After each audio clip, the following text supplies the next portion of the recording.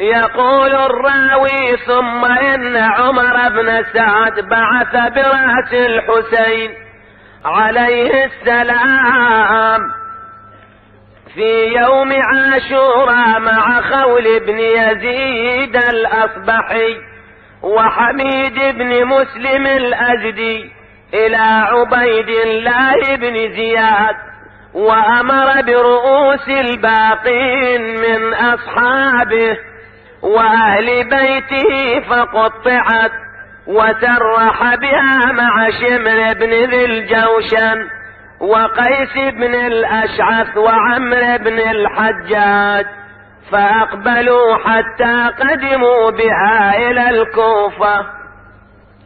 ثم سار ابن سعد بمن تخلف من عيال الحسين وحمل نساءه على أحلاس أقتاب الجمال.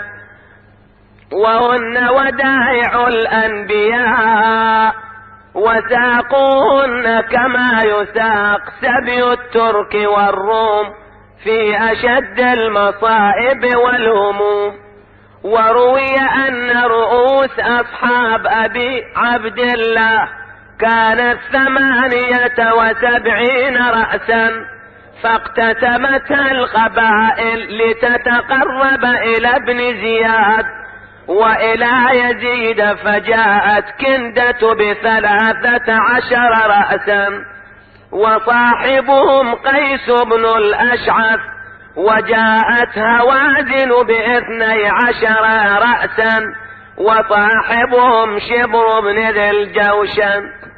وجاءت تميم بسبعة عشر رأسا وجاء بنو أسد بستة عشر رأسا وجاءت مذحج بسبعة رؤوس وجاء سائر الناس بثلاثة عشر رأسا.